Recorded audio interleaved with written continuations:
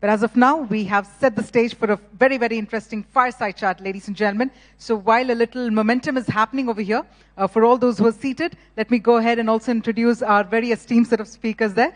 Um, first up, ladies and gentlemen, to take this conversation forward, we have the veteran of Indian media who's been a very integral part uh, of the uh, media since uh, having witnessed some amazing growth as well. And as a CEO, uh, she's taken on the mandate to expand the Havas Media Group footprint. We have with us none other than Anita Nayyar, and I'm going to request all of you to come together with a huge round of applause to firstly welcome Anita on stage, the veteran herself. Can we get some energy back in the audience?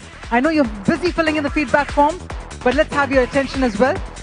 Well, because up next, it's time to also introduce uh, our speaker here, who's responsible for the entire range of advertising for the company's commercial vehicle product lineup. We have with us none other than Mr. UT Ramprasad, who's the head of marketing communications with Tata Motors. So let's accelerate the speed of the applause there. And please help me welcome, ladies and gentlemen, Mr. UT Ramprasad. So it's a fireside chat there, and our, our speakers will throw some light on some interesting perspectives. With that, Anita, over to you. Thank you, everyone, um, and uh, good morning. Uh, very, very uh, honored to have UT uh, with us, uh, esteemed client of ours, uh, but more than that, a friend and someone whom one has learned interesting stuff from having worked with him over a period of many years now. interesting topic today to improve conversations and beyond, which I'm going to quiz uh, UT on, uh, on uh, lots of things. But just before that, a little bit of few words on you know what UT has been up to at Tata Commercial Vehicles. And I personally think working with him over a period of time is that he's been really the digital transformator uh, in Tata commercial vehicles uh, division. And uh, don't miss the part commercial vehicles, it's not passenger vehicles, you know, because it's easy for digital transformation to happen in a passenger vehicle uh, division because uh, you know your audiences are very different and the product that you're selling uh, is very very different. But in the case of commercials the the products are very different and the audiences that you're catering to are very different and it becomes very interesting and important to really uh, you know uh, oversell or sell the benefits of that product so that it finally, uh, you know, ends up into uh, what you call conversions uh, or sales. Uh, in the digital transformation piece at Tata Commercial Vehicles, I mean, uh, I think uh, the campaigns that UT's run over a period of time have won God knows how many awards, I think 16, 17, 18 awards, in whether it was the Keep Loading campaign or the Photo OK campaign that he's run, which we will hear more from him. But just, just a little bit of preamble on the conversation that we are going to have is on content today. Much abused word. We've been hearing about content, and I think the panel before also was talking about content uh, which caters to millennials versus Gen Z or, you know, versus anybody else, uh, you know, here.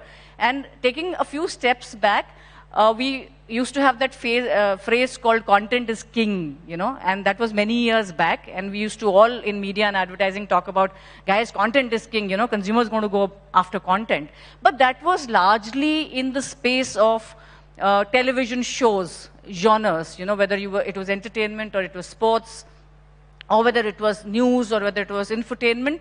But today the whole ecosystem around content has changed with, with uh, consumers and brands be becoming far more technologically savvy, digitally savvy, and putting a lot of uh, impression on ROIs that are happening in the marketplace. And this whole thing about it is not a one-way communication. I think it is, it is interactive, so the content that brands are putting out in the marketplace have to be relevant to the consumers. They are, the content is supposed to inspire them, to entertain them, to engage them, to inform them you know, and various other, other things that the content is supposed to do. So having said that preamble, today content is a very, very important part of any marketing strategy.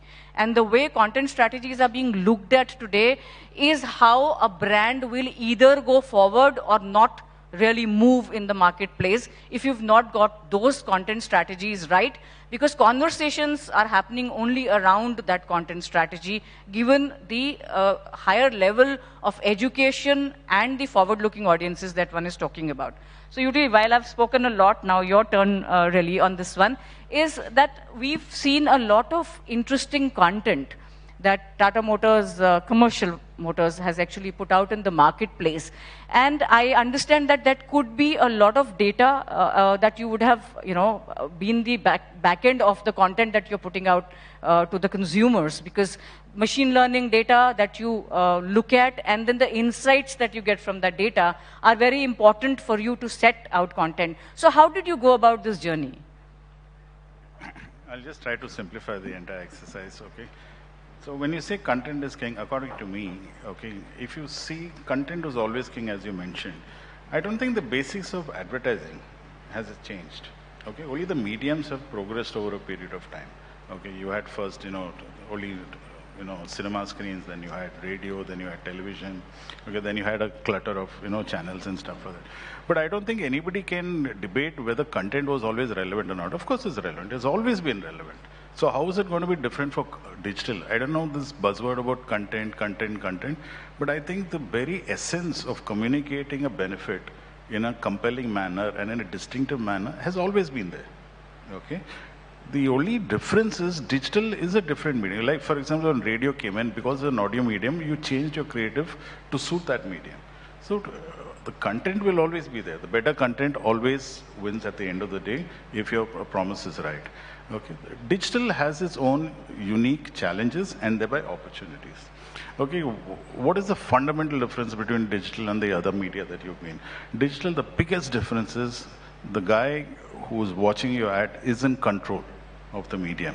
So whether it is on his mobile, he has the ability to click, he has the ability to, you know, disregard. Okay, this is, that has become a big uh, challenge for marketeers.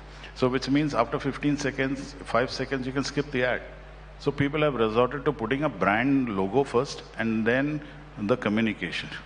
I find that very funny because if the logos, I mean, you have to communicate a promise, right? It's just not the logo. It's not like an FMCG where, okay, maybe just top of mind awareness. Then you run a 15 seconds commercial with the logo.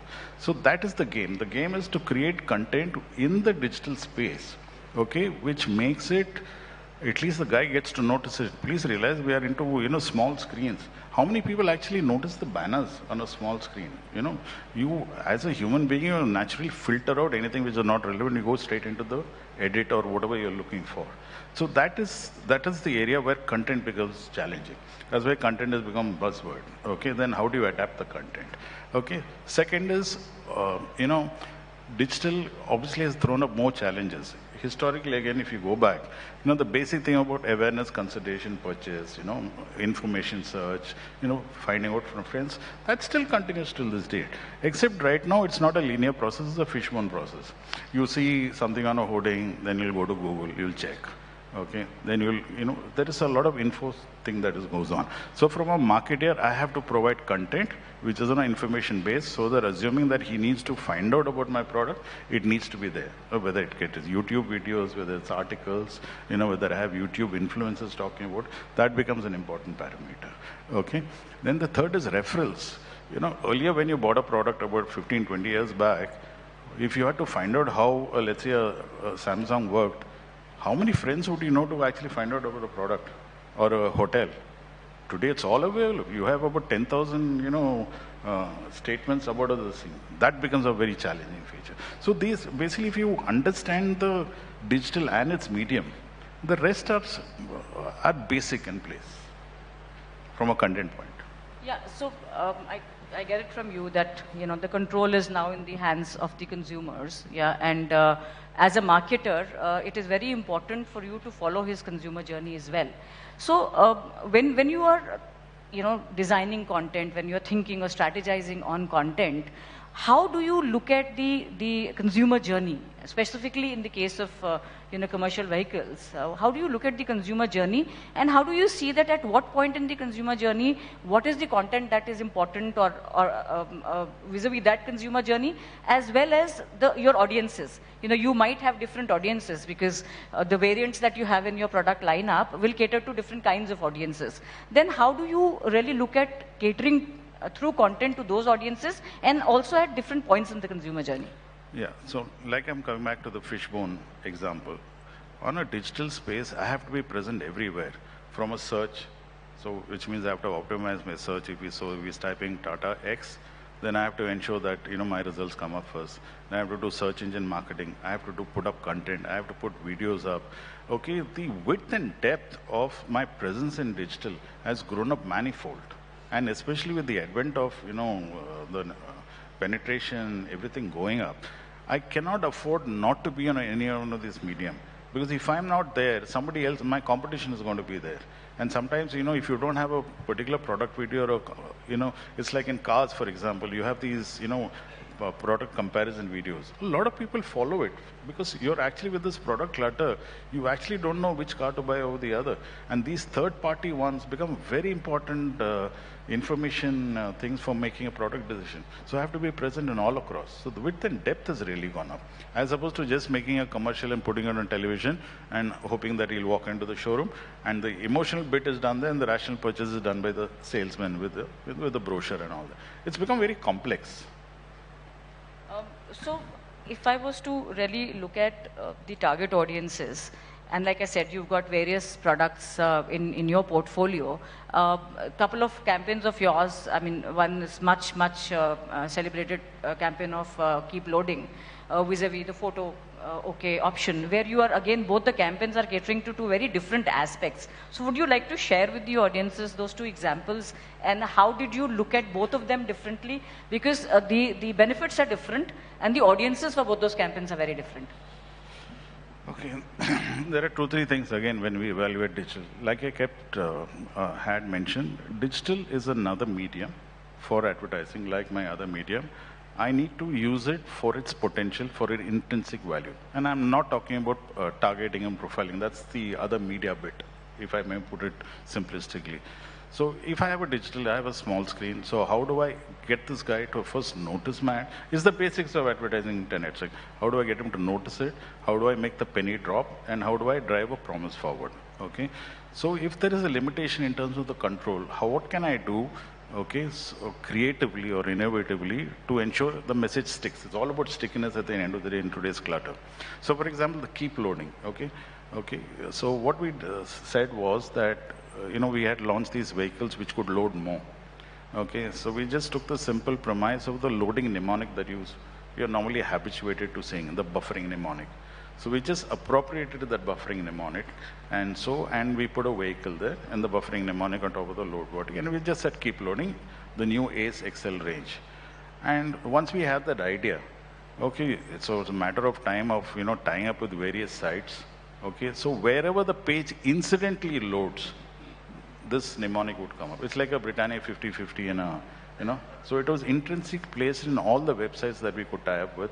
Or for example, in a YouTube video, we would place it. So even if it's not buffering, the consumer thinks it's actually buffering. So he's not, you know, irritated with that.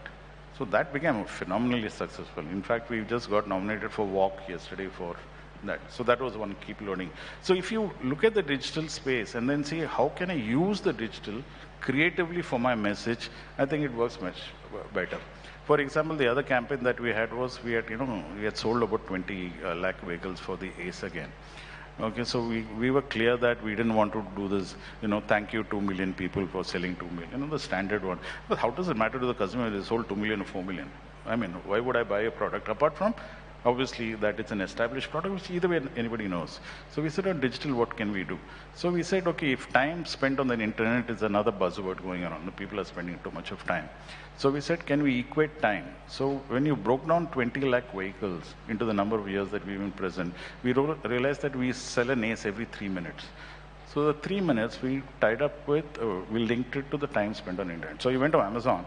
Suppose you surfed and you shopped at the shopping cart page so he said, look, you spent nine minutes shopping for this. Do you know, meanwhile, we've sold three A's. You know, an Ace is sold every three minutes. So if you watch a video on YouTube, we would put, you know, by the time you finished watching this video, we sold an Ace every three minutes. So if you were to clearly, it's not very easy. it's very difficult. Okay, but the attempt is to strive to do, you know, something which is digitally, you know, adaptable and digitally creative rather than a television or a print ad converted into banners. So that's frankly becomes a blind spot. Unless it's really relevant. If it's a 50% off, you know, your eye goes to it and you'll say Zara 50% off, you will go for it. Okay. Then the other challenge is to use these various platforms. you know, there is also a general tendency, which I've noticed that, you know, once there is a campaign, you just, you know, you put it on Facebook or you put it on, you know, YouTube, you put it on Google, you put it on Insta, you put it everywhere. But the point is to be able to these, uh, use these platforms again initiatively. For example, what we did for WhatsApp with the drivers. Okay, where, you know, one of the business challenges that we have is, you know, trucking or truck driving is not seen as an aspirational profession. You look down on his profession okay, and you say, yeah, you know, what, is, what a life he's leading, you know, horrible. But actually, if you realize, as all of us sitting in this room, if you go for a holiday, you know, you spend two weeks, let's say in Kashmir somewhere, you come back and you say, this is life, you know, this is how life should be, you know, in the midst of nature, oxygen and stuff like that. And you come back and you say, I wish, you know, we could continue living like this. It's a standard thing.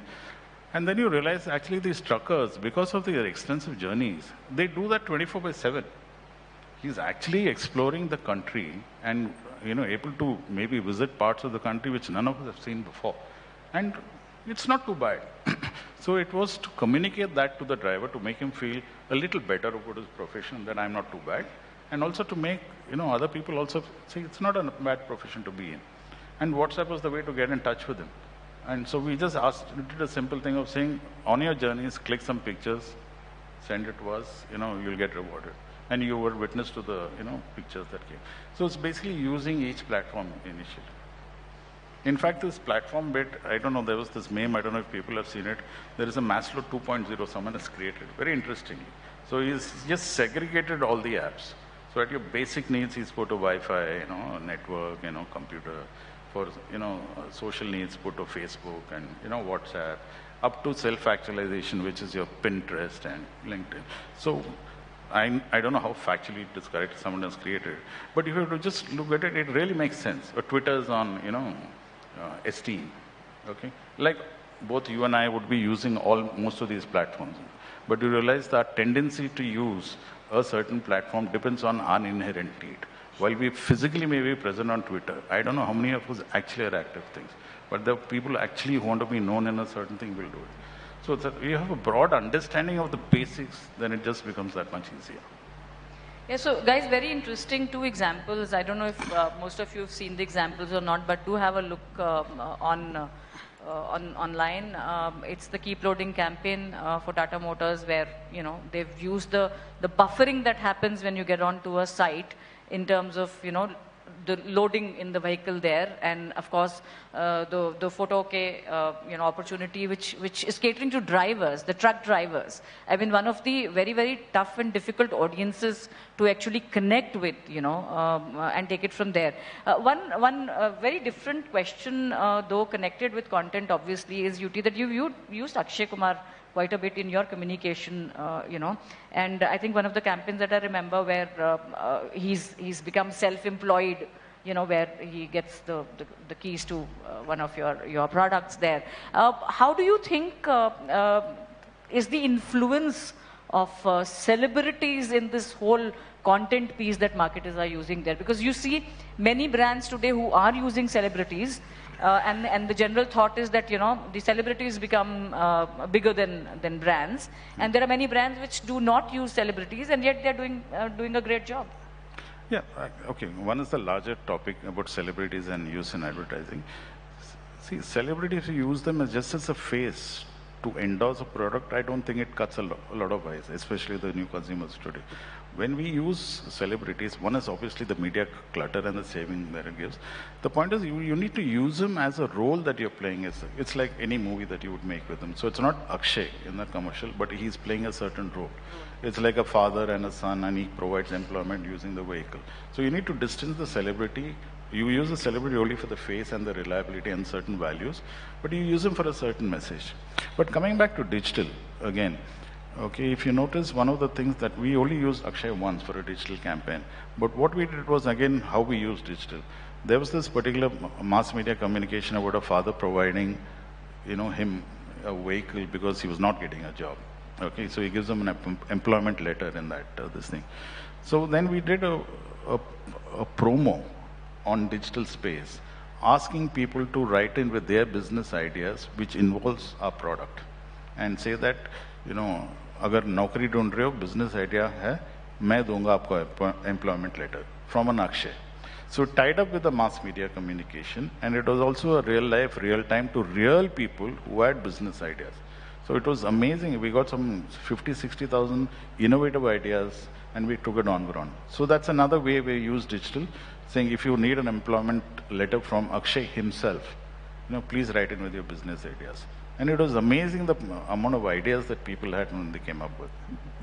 Uh, You know, there's uh, some very interesting studies which say that there is a role that content has to play in the whole marketing uh, parlance, and uh, the content should be um, informative, it should entertain, it should educate, uh, and it should inspire.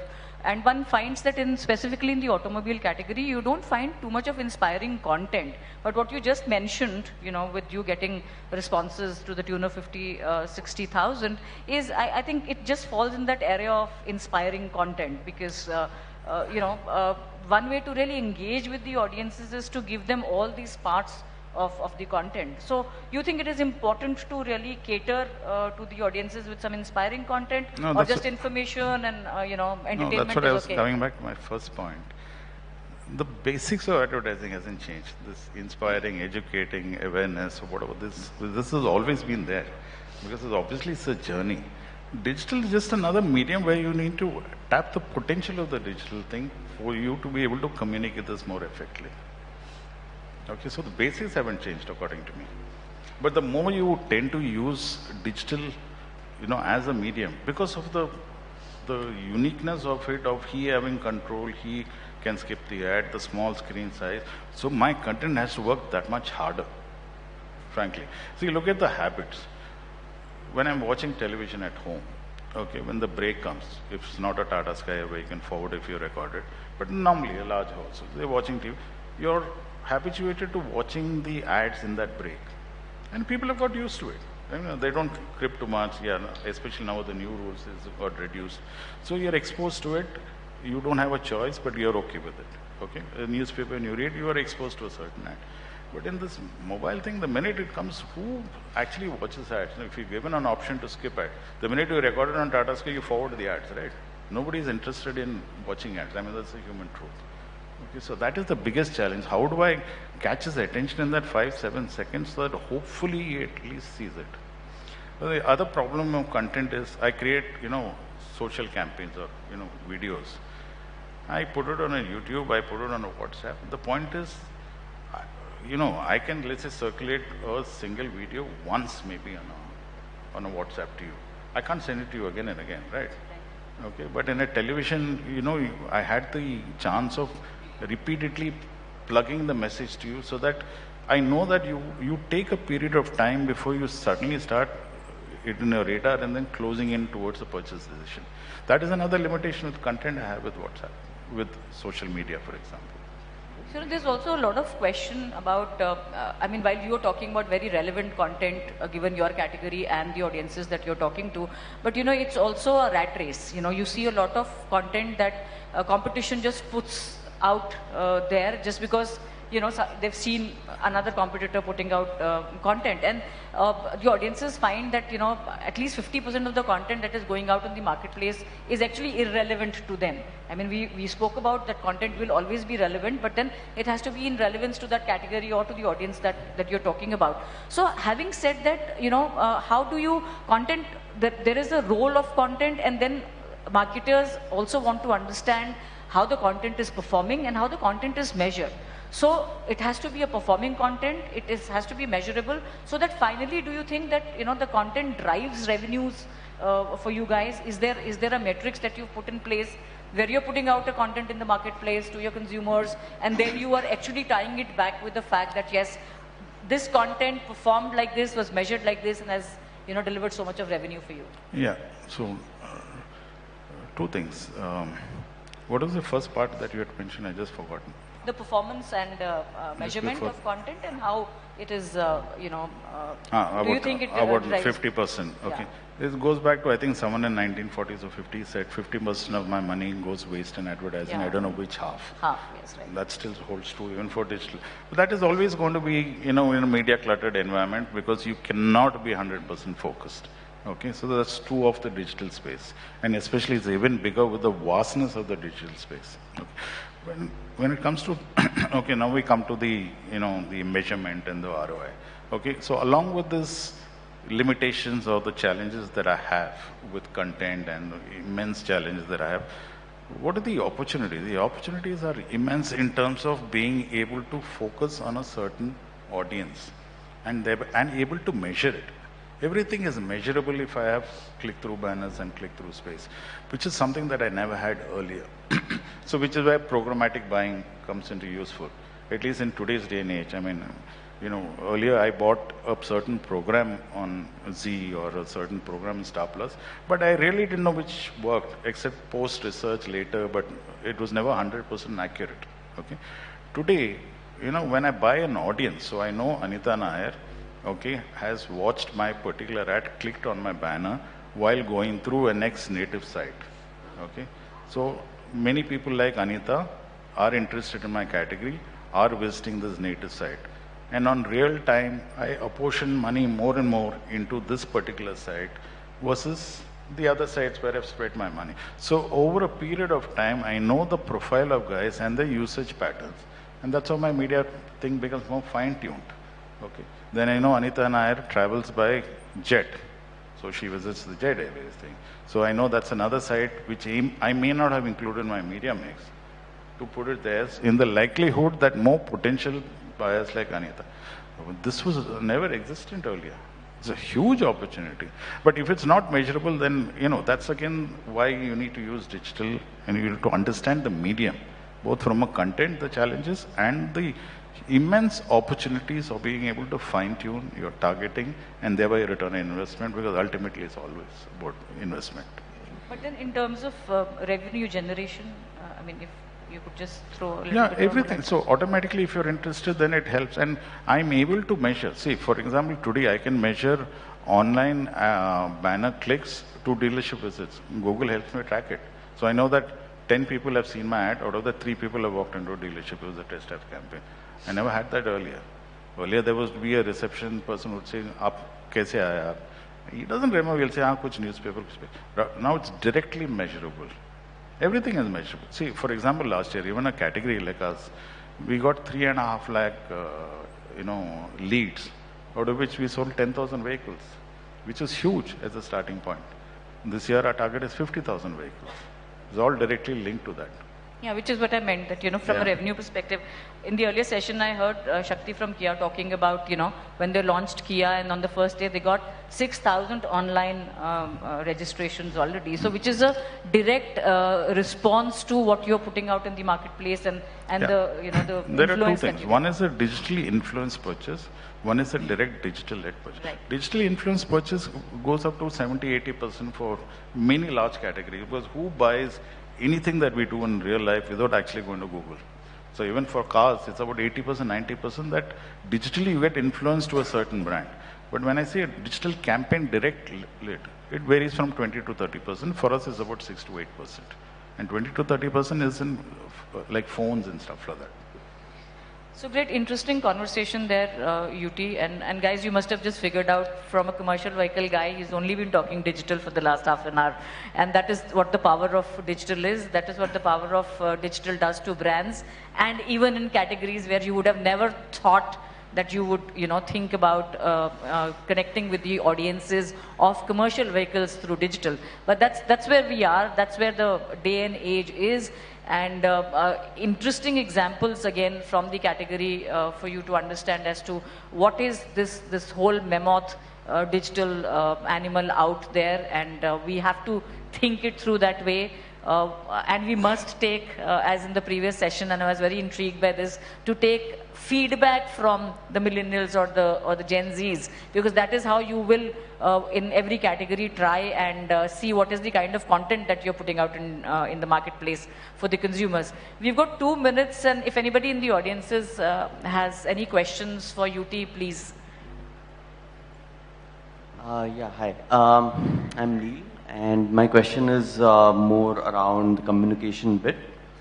So, when I talk about Tata, right, uh, does the success of uh, Tata's uh, commercial vehicles communication become dangerous for its passenger vehi- uh, vehicle communication. Uh, because, again, so uh, to put it differently, how do conglomerate brands harmonize um, the communication goals of its two verticals, which might be in conflict with each other? Because uh, a strong, um, a, a great campaign will actually cement certain associations which might have a negative impact on another vertical which is trying to achieve something. else. Okay. So, uh, whether it's in passenger cars where you have different segments or commercial vehicles where you have different segments, each profile is different. Okay, so obviously even in my whatever CV division, so my uh, my audiences vary a lot. Okay, so obviously with ideal targeting, your tendency to overlap shouldn't be there. But however, I borrow from your point in terms of there is obviously a feed off, whether good or bad. But that largely happens in the television space because it is generally, you know, when I put it on a, let's say, cricket, okay, the whole world is watching. Okay, I cannot focus it. But the advantage with digital at least that, uh, for example, if people, which is a challenge that I face, you know, it's obvious that if your campaign is successful, people need to talk about it. You know, when you're board meeting or, you know, I saw your ad and stuff like that. Okay. Otherwise, it's generally not seen as successful. In the limitation of digital is the more focused you are, you're not supposed to see it. So that becomes a big issue that unless suddenly someone, you know, we get an award or we get results of it, then suddenly we realize it's actually popular.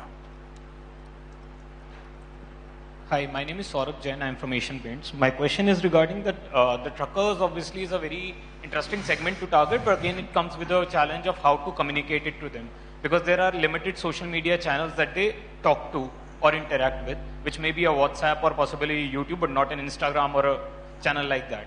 So I would like to uh, understand in details how the campaign through the truckers took place and how when you said that you invited entries from the truckers to send the photographs of their journey how did that take place as a channel because they obviously are not very comfortable with tech uh, tech conversations Yeah. Okay. So first, two three things. One is, uh, you know, you know, there is this misnomer that you know truckers or commercial vehicles maybe they're not so much into social media. That largely comes from let's say you take a data point like smartphone penetration is 20% in the country. So people will say, yeah, it's only 20%. But that's a it's a very you know 33,000 feet looking at the data. In that 20%, if you were to take below poverty line out, and if I were to factor in my income, this thing, okay, that 20% will jump, right? Okay, so the 20% will not remain 20% because 20% aggregate across the country. So, and plus if it's a business tool. So interestingly, for the my category, the smartphone penetration is 80 to 85%. Okay, which you will not, unless you go deep dive and cut the data and analyze it, you will see that it's more than 80 to 85%. Okay, in today's day and age, after uh, the advent of recent uh, uh, players like Jio and all that, your lift guy is, uh, you know, on a WhatsApp daily. Yes, they may not be into Instagram, they may not be into Twitter, okay, they may not be into Pinterest but that's true of all of us, you know, and that's what I keep coming back to. Each platform has its own advantages. That's why you cannot look at all in, uh, you know, in its entirety. Why would I use an Instagram? Instagram is about pictures. Okay, so then I would use maybe food, travel. Those are the right mediums to be in. I'm not going to put a truck on Instagram. I would be, you know, stupid, especially my audiences. But Instagram also, please realize that it's a slow growth that is taking place. Instagram is still a family album. Okay, we have graduated to Instagram in the past two, three years. I'm sure truckers will also. WhatsApp is now a phenomenal tool which is used, especially in India. I mean, other uh, platforms are there. Coming back to the truckers and how did we use? Obviously, when we, they are not used to texting. Okay, so it was always, you know, video or audio messages sent. Okay, the ground activation was done at the dealership level where they came, all the registrations, and then member get. We, uh, I mean, there's an interesting case study, but the the amount, the way we use WhatsApp is phenomenal as a two-way texting. Because people nowadays, again, if you realize SMSs, all of us, for example, is 90% spam. You know, WhatsApp is the most effective way of reaching him, but WhatsApp is not an open platform. So that becomes a limitation. Pardon, I couldn't hear you. It was the only medium for that. The initial was the ground event to gather the buzz of enrolling about you know 5,000 drivers. Then it took steam from there through the WhatsApp. So guys, we've got time's up. Uh, we've got another speaker uh, waiting. Uh, UT, thank you so much for your time. Yeah, sure. uh, keep uh, uh, churning out content which is revenue churning and award winning. Thank you very much. Thank you so much. Thank you very much, Anita, and thank you very much, Mr. Ramprasad. I'm going to request both of you to come together for a quick photo op as well. And ladies and